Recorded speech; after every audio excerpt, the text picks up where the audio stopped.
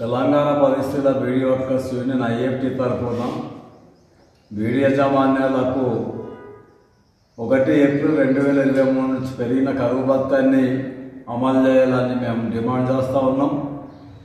గతంలో జరిగిన ఒప్పందం ప్రకారం ప్రతి పాయింట్కు పది పైసల చొప్పున పెంచి ఇవ్వాల్సి ఉంటుంది.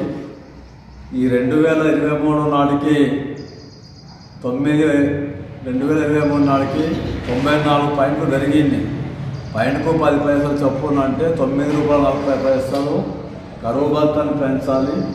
దాంతోపాటు మిగతా అవన్నీ కలుపుకుంటే రెండు ప్రతి వెయ్యి వీళ్ళకు రెండు వందల ముప్పై రెండు రూపాయలు కూలి అవుతుంది.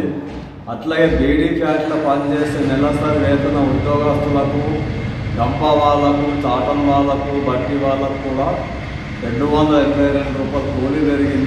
దాంతోపాటు ప్యాకింగ్ చేసే కార్మికులకు పని బట్టి ఆ రేట్ ఎంత అనేది నిర్ణయించబడుతుంది. నిర్ణయించిన దాని ప్రకారం లక్ష వేడికి చొప్పున లెక్కలు తీసి వాళ్ళ కట్టిస్తారు.